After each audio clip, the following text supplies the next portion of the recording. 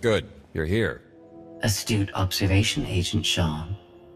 It is a wonder the SIS could get by without your deductive reasoning. You're a droid that's gotten too big for her own bolts. How's that for an astute observation? Five minutes. Can we please go five minutes without you two at each other's throats? Setting the clock. Three, two, one. Why do I feel like you're encouraging more than helping? Scorpio, show the commander what you found. Please.